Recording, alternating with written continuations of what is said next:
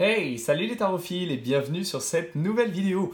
Euh, très heureux de pouvoir vous présenter un jeu euh, que j'étais impatient d'avoir entre les mains. Et je suis très heureux parce que je l'ai reçu donc il y a, quelques jours. Et euh, bah, j'ai pris un peu le temps évidemment de me pencher dessus, de regarder un peu le livre, regarder le, jeu et son livret.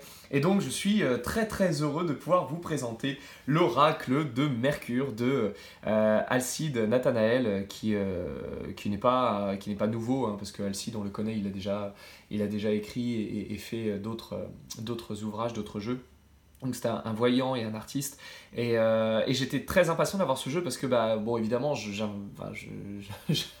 j'annonce pas quelque chose de nouveau, mais tout le monde sait que je suis un, très grand amoureux de, de, mythologie, particulièrement européenne, donc moins, moins mythologie américaine, indienne ou, asiatique, mais je suis, je suis un très grand très grand amoureux de, mythologie euh, gréco-romaine, également euh, évidemment égyptienne, et puis on retrouve un peu d'Égypte de, dedans, donc je, suis assez ravi d'avoir ce, savant mélange.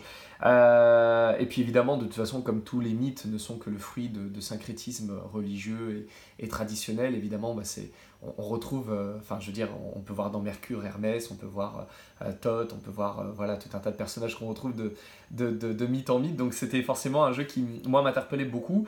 Et j'ai été, j'ai été surpris de, de la qualité du jeu et surtout de l'angle d'attaque du jeu. Parce que je m'attendais à, un peu autre chose. Voilà, moi, des jeux mythologiques, euh, j'en ai vu plein. Et c'est vrai qu'on tombe toujours sur euh, des illustrations extrêmement chiadées, avec beaucoup de détails, avec, euh, avec beaucoup d'informations, de, de, mythes extrêmement fortement exposés. Et en fait, là, pas du tout. Le, parti pris est complètement différent parce qu'on va vers, vers un domaine qui, moi, me plaît beaucoup. On est vraiment sur un minimalisme absolu. Donc, je vais, je vais vous le présenter. Alors, du coup, bah, j'ai les deux, hein, le livre et puis. Et puis l'oracle, merci beaucoup euh, à Laura de me les avoir envoyés parce que c'est vraiment une, euh, petite pépite. Alors, et ça a été édité euh, dans la collection Arcana Sacra, donc c'est évidemment, ça fait partie de la maison, la maison d'édition Alliance Magique dont j'aime énormément les produits, donc je suis très heureux de pouvoir présenter à nouveau les créations de cette maison d'édition qui non seulement a fait preuve d'audace et que ça, a été payant, mais en plus de ça font vraiment des, articles de qualité. Donc tout d'abord, il y a le livre, euh, voilà, qui est au, tarif de 18 euros, ce qui n'est pas grand-chose en sachant que, en plus de ça, il est, très beau, il est en couleur, il est qualité. Alors bon, le fait de l'avoir en couleur, c'est toujours agréable, mais c'était pas nécessaire parce qu'on va voir que justement les cartes sont extrêmement minimalistes au niveau des couleurs et des, détails. Mais en tout cas, je suis très content de la qualité du livre parce que, euh, eh bien parce qu'il y a dedans justement ce que j'attends et ce que d'habitude je demande à un ouvrage. C'est-à-dire que, bon, évidemment, on a une introduction, hein, ça va sans dire, euh, une, une, petite préface. Alors, je suis désolé, la lumière, euh, là, en pleine journée, n'est pas, est pas géniale et du coup, j'ai beaucoup de reflets.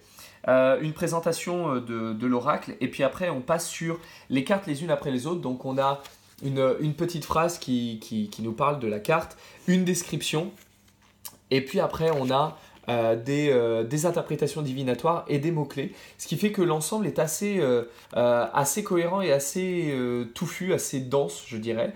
Et donc on a toutes les cartes jusqu'au numéro, alors faut pas que je déborde, là on est sur 22, hop, et on passe après à une nouvelle catégorie, donc on a jusqu'à la 22e carte qui est le triomphe, et on arrive après sur une nouvelle catégorie où il y a simplement 5 cartes, euh, chacune en rapport avec un élément. Donc là, on a la coupe qui est en rapport avec l'air.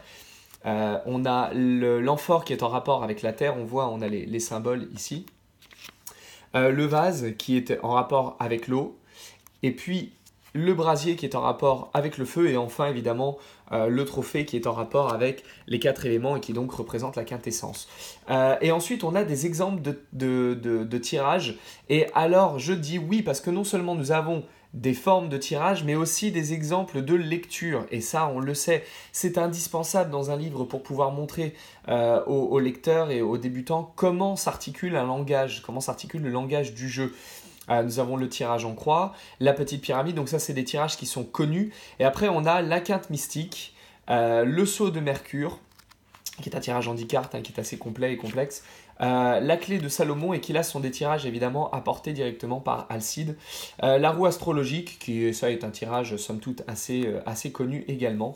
Et puis ça parle un petit peu de mystère et d'initiation, donc ça c'est toujours sympa pour ceux qui, ne, qui, qui ont envie de s'intéresser à autre chose que simplement le jeu, mais d'aller voir un peu la culture et ce qui se trouve derrière. La parole d'or, les remerciements, la bibliographie, donc ça c'est toujours bien pour avoir des petites références.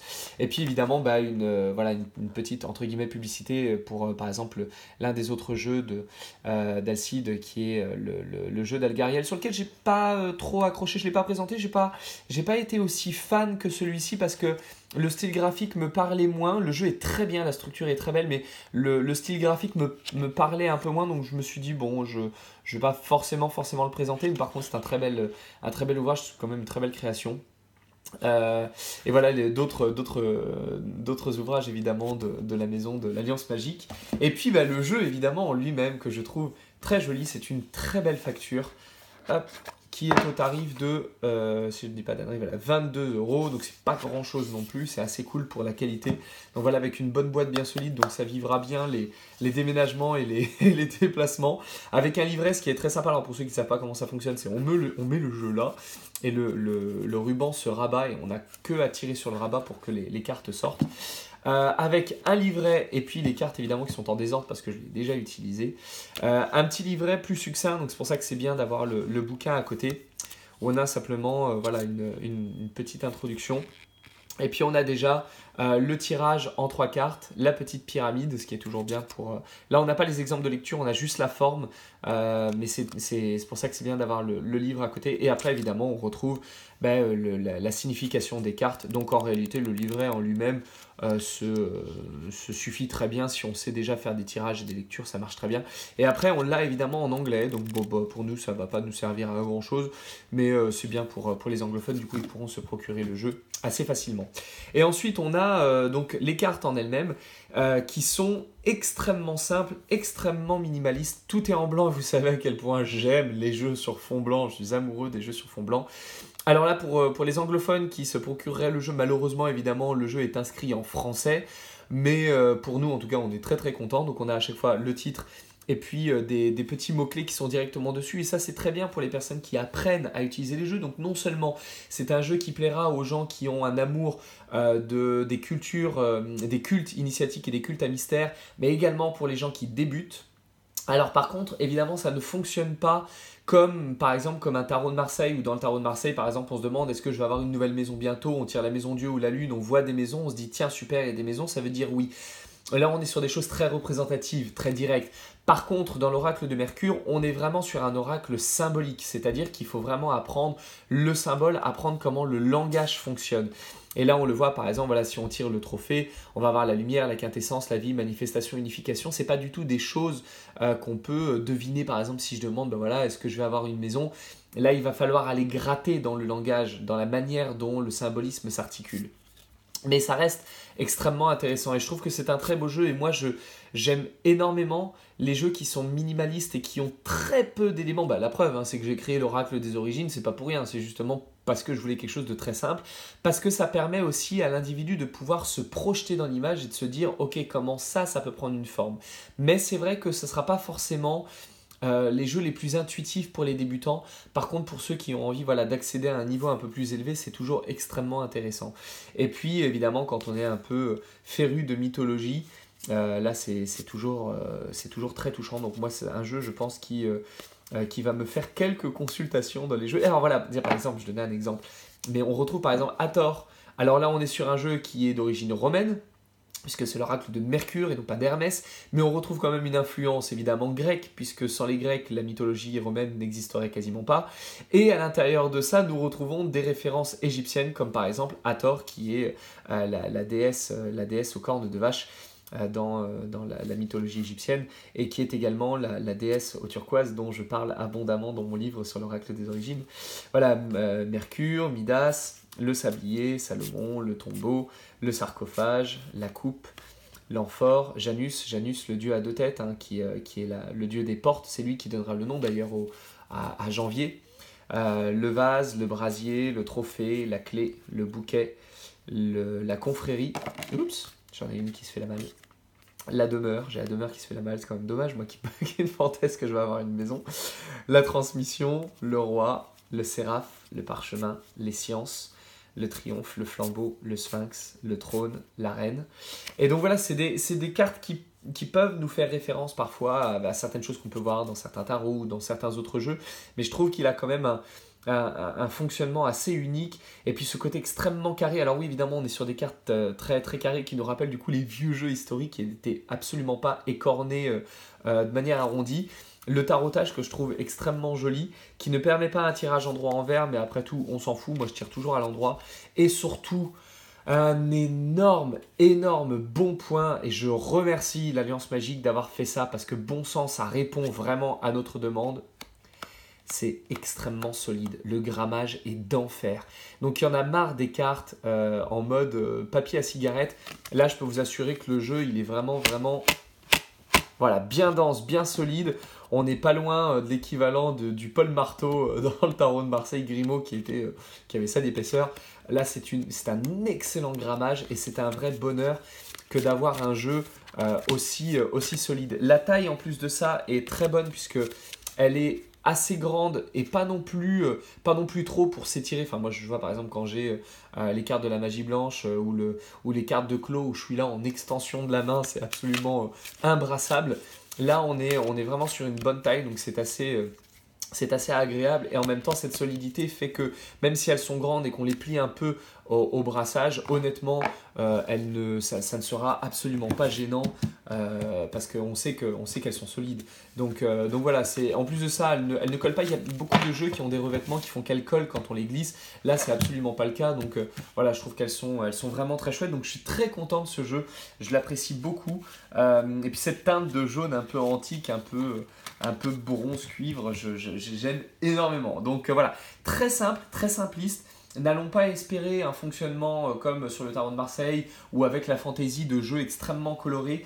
Il ne fait que le job, mais il le fait très bien et il plaira beaucoup à ceux qui ont effectivement de l'amour de la mythologie, euh, des mythes anciens et, des, cultes anciens. Donc c'est un jeu que j'apprécie énormément.